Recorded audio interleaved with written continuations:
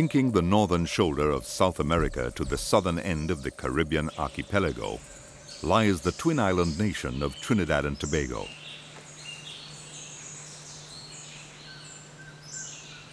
This is a prime location for the enjoyment of the natural world, for observing and studying the bewildering variety of plants and animals collectively known as biodiversity.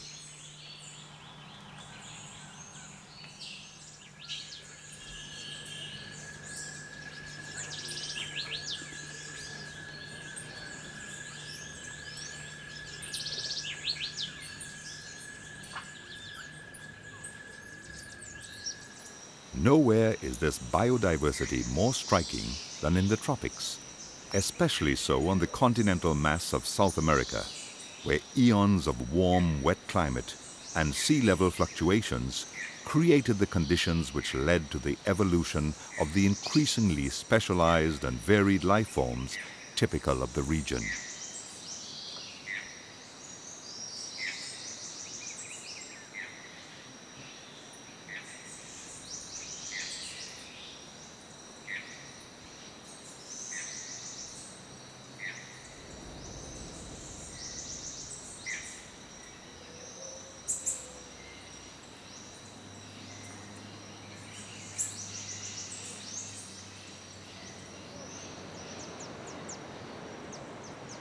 Trinidad, only 10 kilometers from the Venezuelan mainland, shares many of the biological characteristics of its huge neighbor.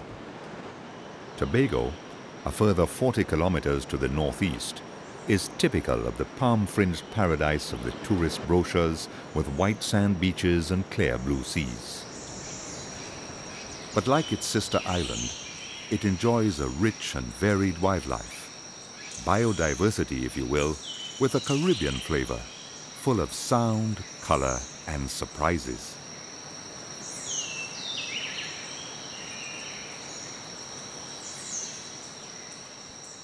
This richness is further enhanced by the varied topography of the islands, which creates several distinct habitats and ecosystems, each supporting a different assemblage of plants and animals.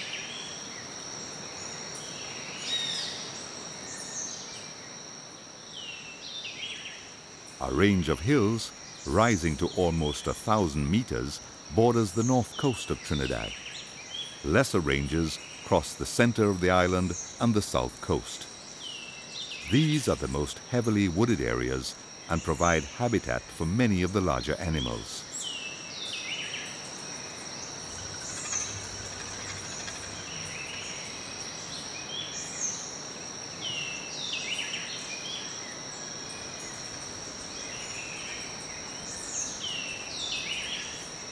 The unique Trinidad piping guan, or pawi, a highly endangered species, inhabits the forests of the northern range.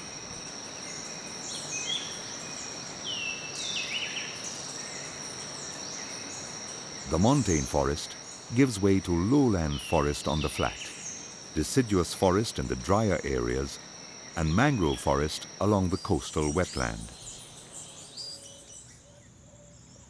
Where soil conditions do not support tree growth, natural savannas occur, as in the Aripo savannas. These are home to a distinctive flora interspersed between islands of Moriche palms.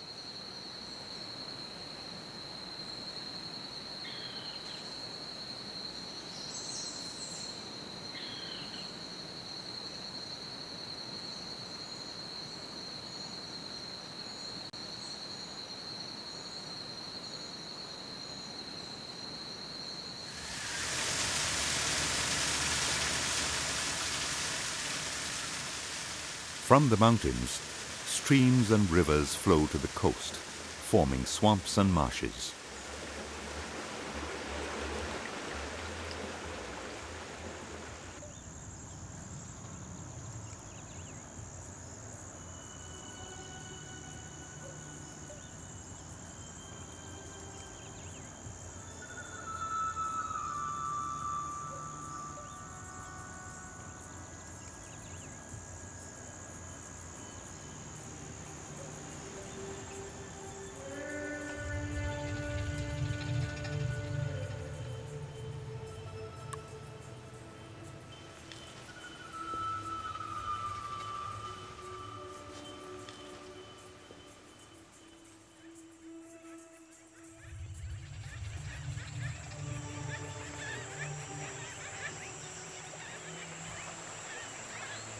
Here migrating birds find a place to rest and feed, while on the offshore islands, oceanic birds congregate to breed.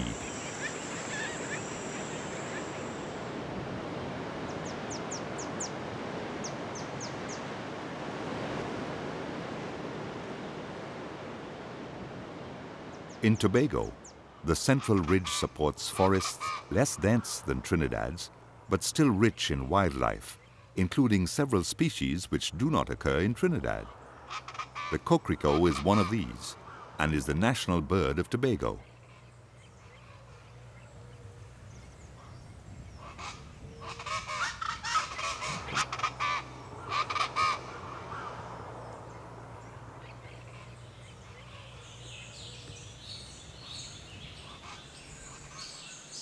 Few, like the ocellated gecko, have been found nowhere else in the world.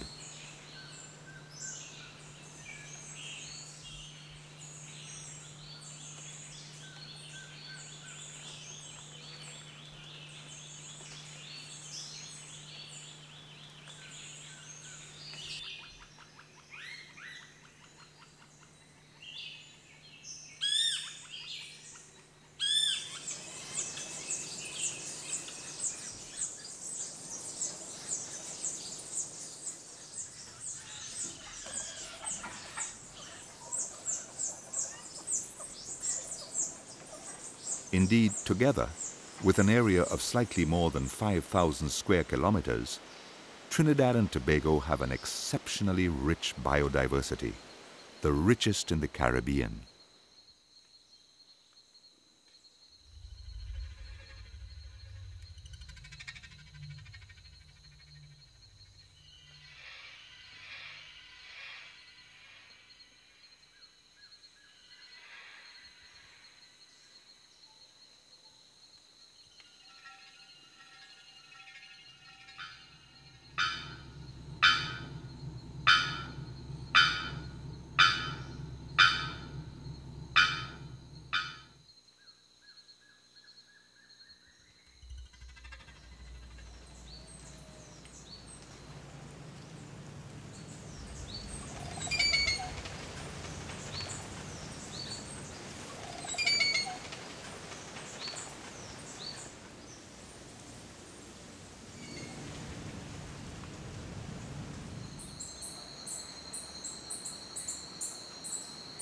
The liveliest, noisiest, and most colorful of the creatures are the birds, and none more so than those which feed on fruit and nectar. These include tanagers, hummingbirds, and honey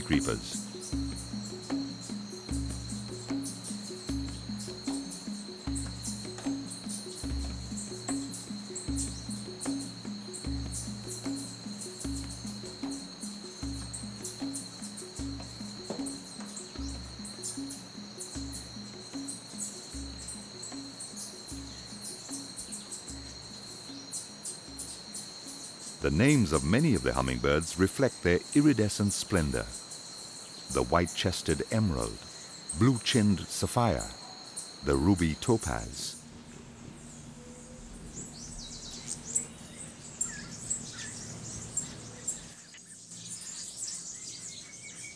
As if they were not conspicuous enough, many species show off their bright plumage in a dance, congregating in groups to vie for attention from the females.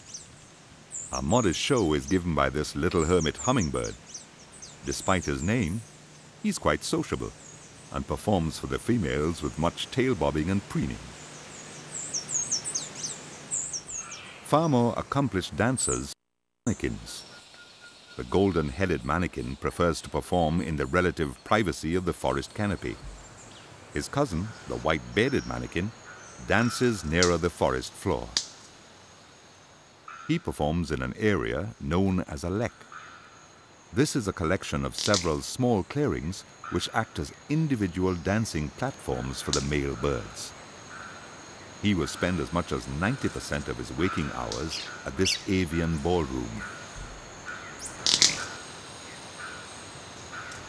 The dance is a series of hops, buzzes, and snaps, and can involve as many as 70 birds, each one trying to outdo the other to gain the favor of the female.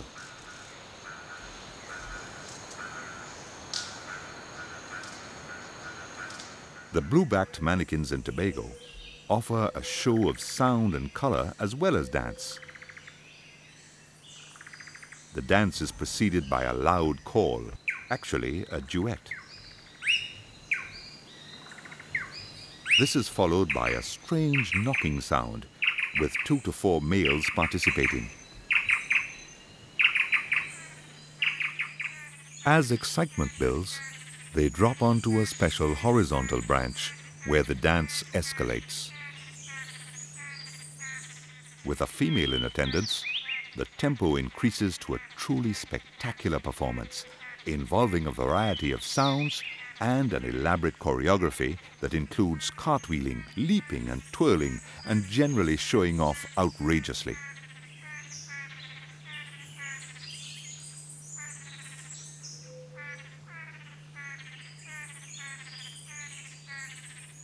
The discerning female judges the dance carefully and makes her selection.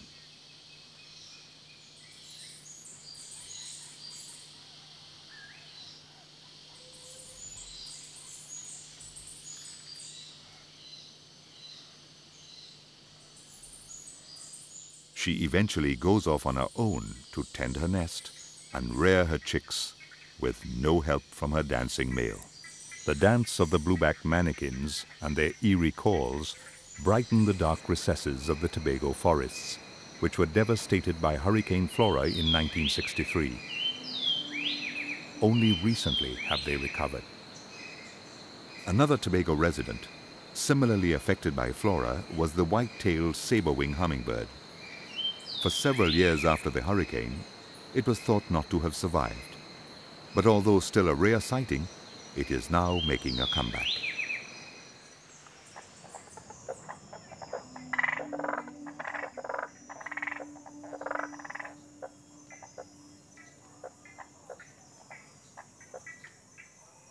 At night, the songs of the forest and the marsh come largely from the male frogs as they serenade the females.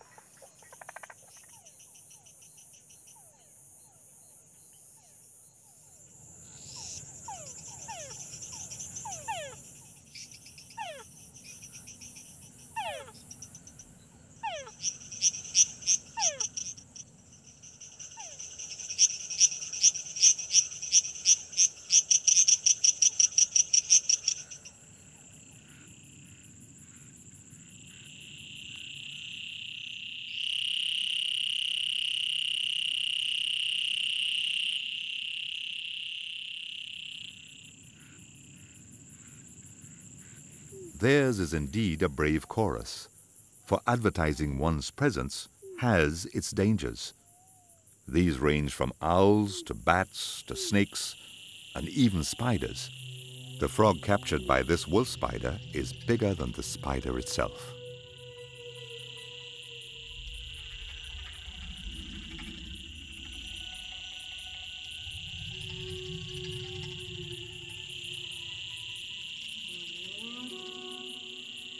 While the daylight hours are dominated by birds, the nighttime belongs to the bats. The Tamana Cave on the northern slope of Mount Tamana in central Trinidad is the mecca for bats on the island. An estimated half a million of them inhabit this cave. Their tenancy and the nutrients they bring in via their feces dominate the cave ecosystem. Their sheer numbers create heat and carbon dioxide levels which make breathing difficult for those who venture there, and the walls are plastered with giant cockroaches. On the floor, amid the insects, live some of the largest frogs known to Trinidad. Several species of bats dwell together in this underground colony, each with its own complex social structure. Here, a Phyllostomus male is seen guarding its harem. At nightfall, the bats exit their subterranean roost in search of food. As the light fades, they pour out of the cave's mouth. Despite their huge numbers, their speed and their closeness to each other, a sophisticated communication and navigation system prevents the collisions that seem almost inevitable as they leave to fan out over the countryside. In the course of the night, they will, while feeding, perform the vital functions of pollination, insect control, and seed distribution.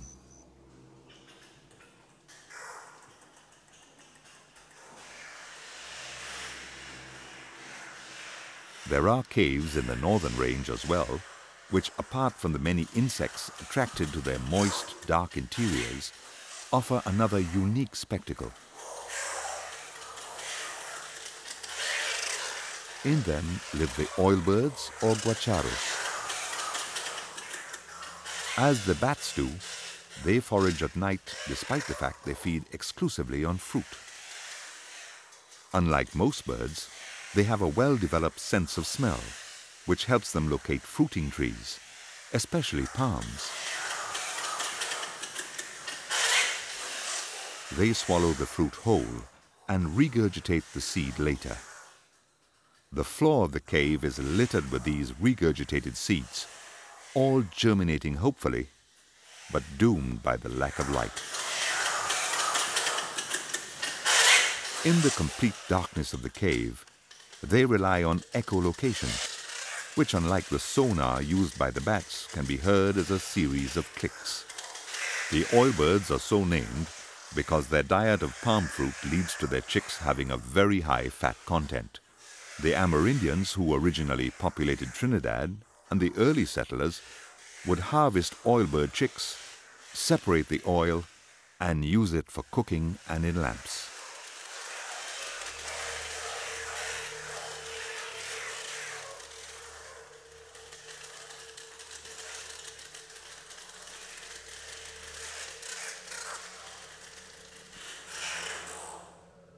At the higher altitudes of Trinidad's northern range, often shrouded in cloud, we find forests that have adapted to the heavier rainfall and cooler temperatures.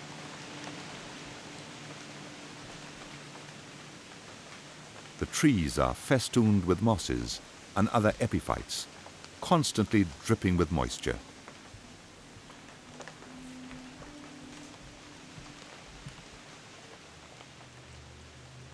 This is the home of the beautiful golden tree frog, a species that is specially adapted to live within the giant bromeliads that grow at these altitudes.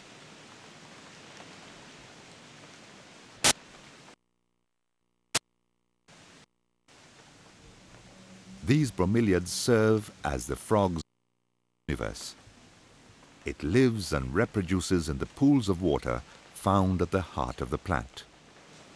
Its flattened profile permits it to move easily between the interlocking leaves.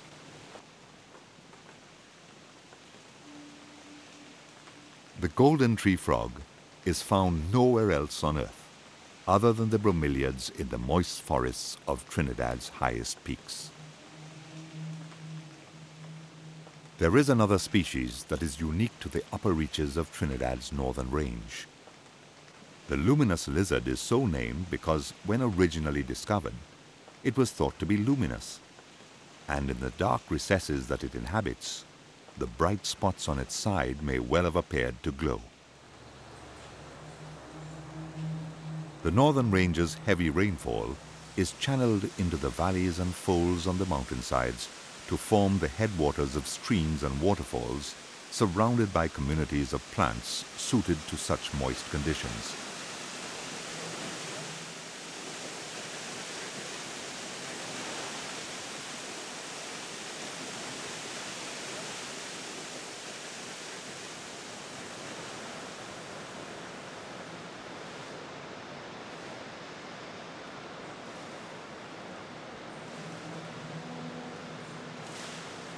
These streams form the tributaries of the larger rivers, flowing from the foothills and into the adjoining plain on the south side of the range, or from the northern slopes down into the sea. The pools along these watercourses are richly populated. The Trinidad guppy carries the name of one of Trinidad's early eminent naturalists and is found in aquariums throughout the world. The guppies share the streams with tetras, cichlids and other creatures like the galap and the Trinidad otter.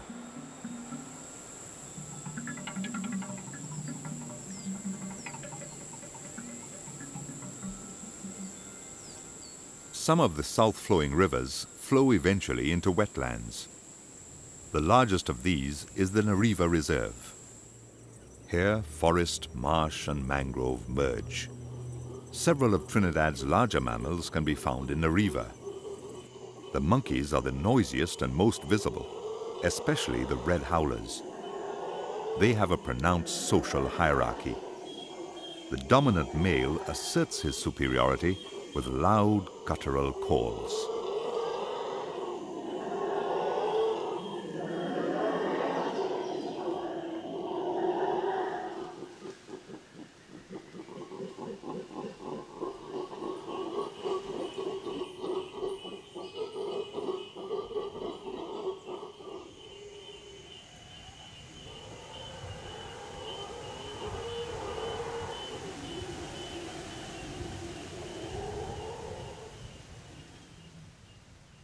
They feed on a variety of fruit and leaves, and will sometimes peer down from the canopy to view the casual visitor.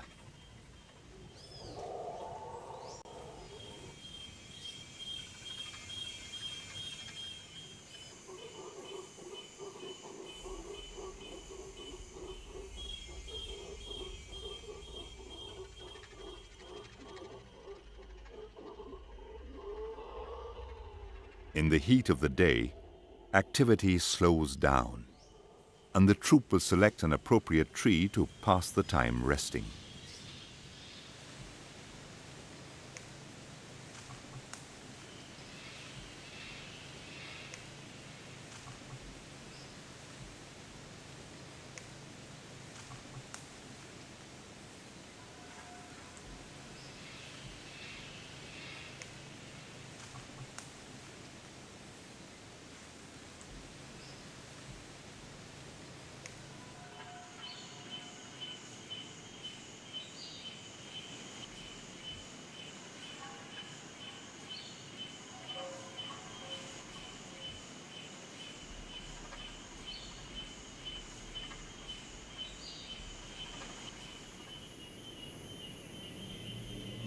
Their smaller cousins, the white-fronted capuchins, are not quite so noisy, but very lively and highly sociable.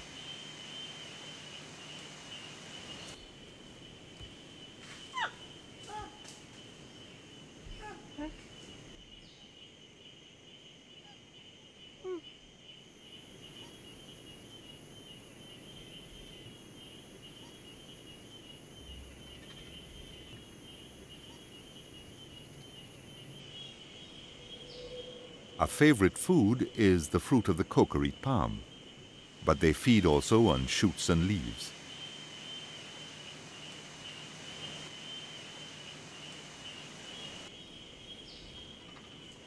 As with the red howlers, grooming is an important social ritual.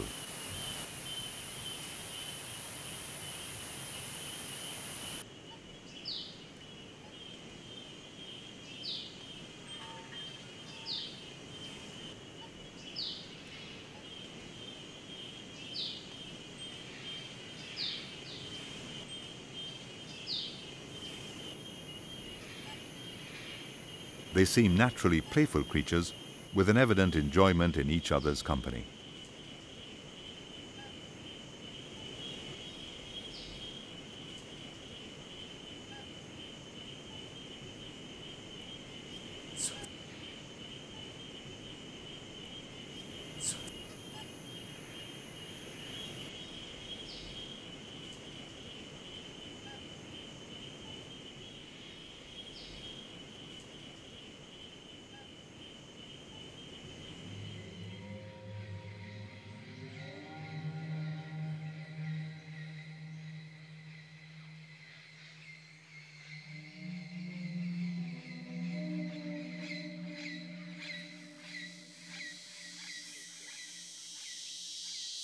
Another noisy denizen of the Nariva swamp forest is the cicada or cigale. Their shrill call practically drowns out every other sound as they announce a coming rainstorm.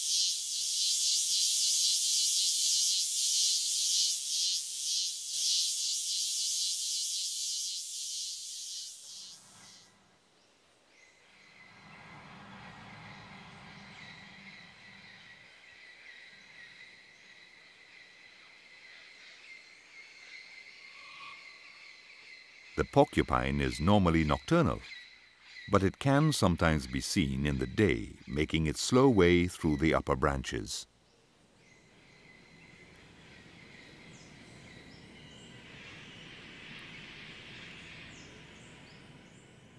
Where the forest meets the marsh is home to a wide range of plants and animals, the manatee being the largest of these.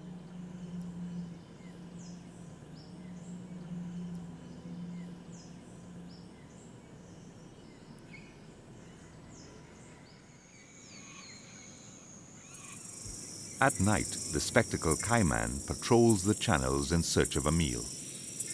Birds, crabs, fish, or another reptile will do. The caiman is not fussy.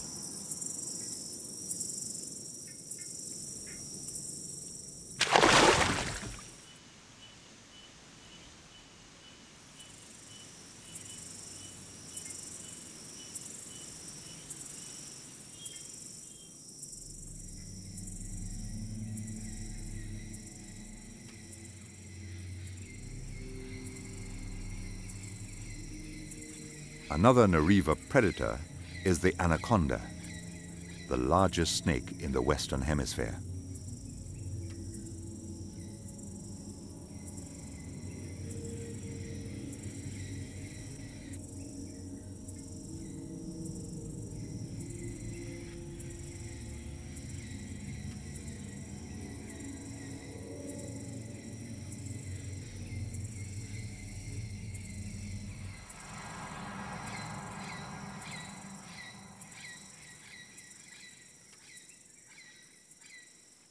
Snakes in Trinidad are severely persecuted. A few, like the corals and this fer de lance, are indeed dangerous. But most are harmless and are an important part of the animal community. Despite the national antipathy towards snakes, the anaconda survives at Nariva Swamp, equally at home on land and in the water.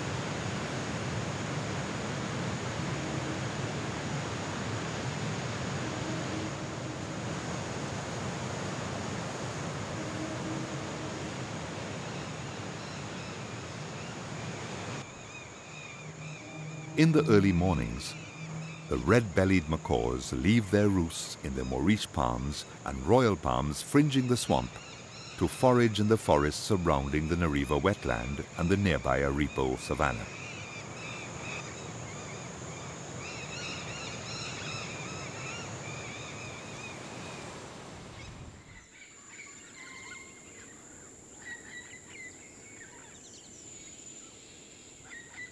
The hollow palm stems serve for breeding as well as roosting.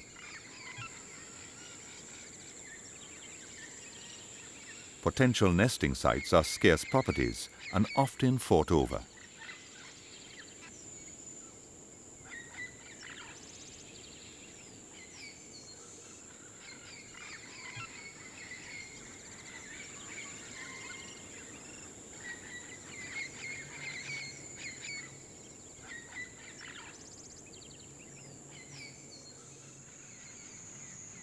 At Nariva, efforts are underway to reintroduce the blue and yellow macaw, a species which previously inhabited the swamp but was wiped out through poaching and habitat destruction. For the first time in over 40 years, the blue and gold macaw has once again a home in the Nariva Reserve.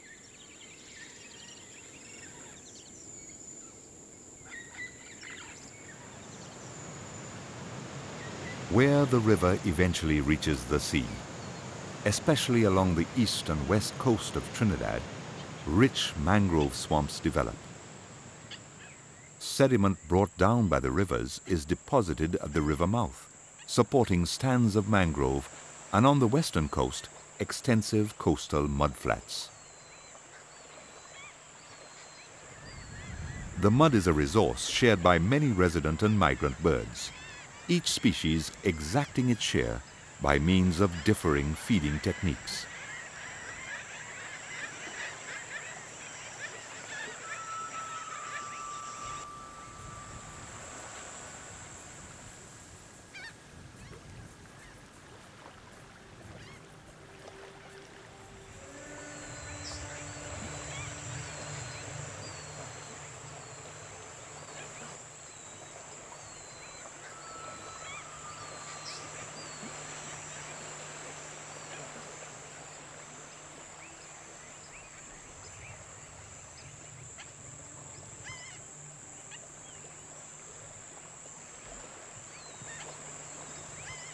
Herons patiently stalk fish or crabs they capture with a sudden lunge. This contrasts with the sandpipers as they gather food from the surface. Scarlet ibis are among the deeper feeders, often plunging their beaks in so that their faces are pressed into the mud as they hunt for fiddler crabs.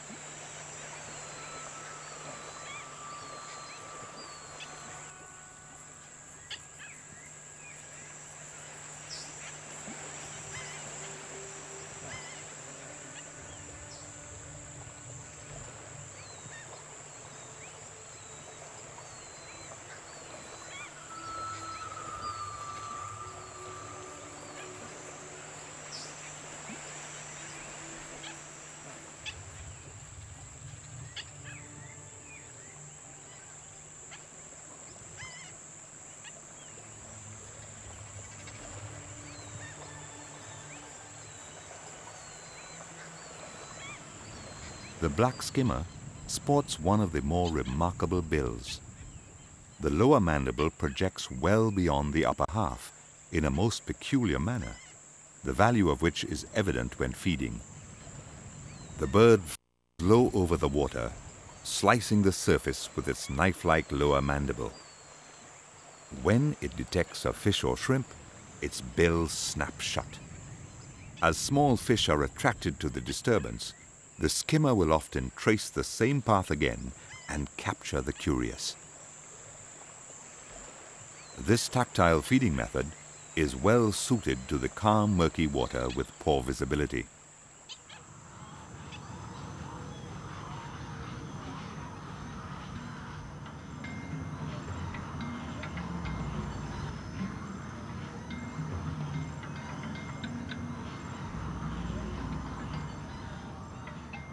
The Caroni Swamp on the west coast supports large numbers of scarlet ibis. They have recently started breeding in small numbers after a long period when they bred only on the mainland.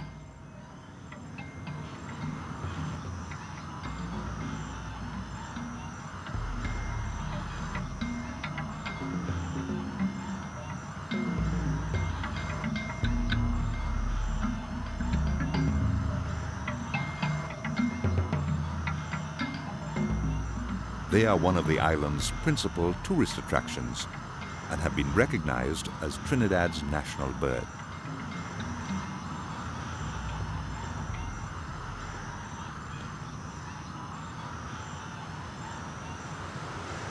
Unlike the calm waters and mudflats of Trinidad's west coast, Tobago on its east coast has clear water and crashing waves.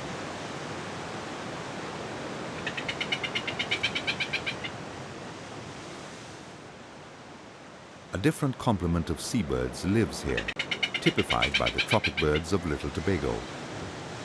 Tropic birds range throughout the world's tropical oceans, feeding on squid and fish. Tiny islands near rich feeding grounds and relatively safe from predators provide good nesting sites. Relative is the operative word. Tropic birds nest on the ground, but choose steep cliffs, difficult for terrestrial predators to access but they can't prevent an attack from the air. Magnificent frigate birds, living up to their other name of man-of-war birds, while not predators, are pirates. After a long day of fishing, tired tropic birds return to feed their young. The man-of-war birds, after lazily floating on updrafts for much of the day, lie in wait. Their technique is to harry the incoming tropic birds and force them to regurgitate their prey. The thief then picks off a free meal.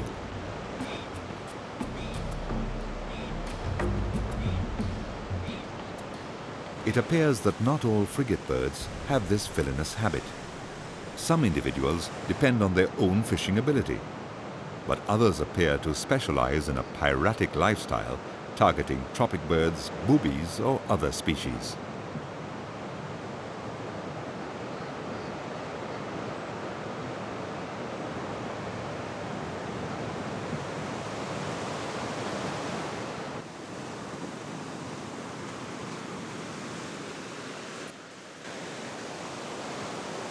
Along sandy beaches, especially those of the north and east coasts of Trinidad, the leatherbacks, largest of all turtles, lumber their way ashore to lay their eggs.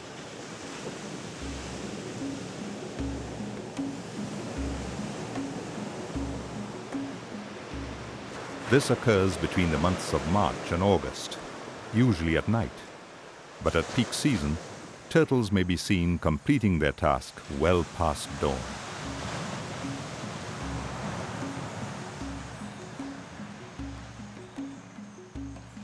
After excavating a neat hole above the high water mark and carefully depositing her 80 or so eggs, the female leatherback delicately refills the hole and packs down the sand.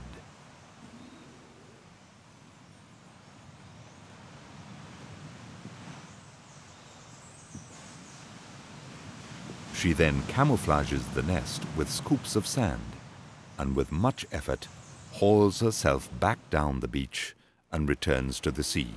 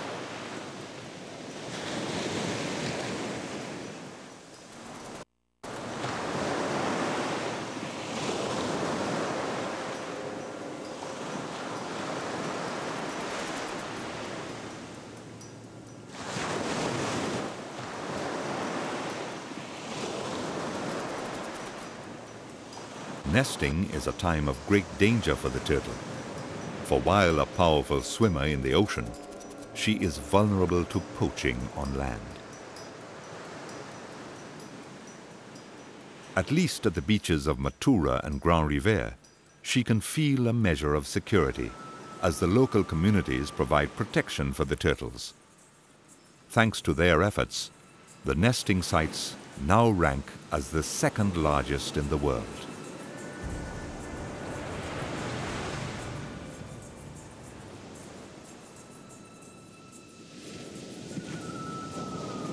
The leatherback eggs hatch after about 60 days.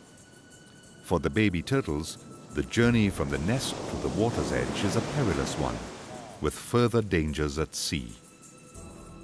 But those who survive may one day return to the same beach at which they were born to lay their own eggs.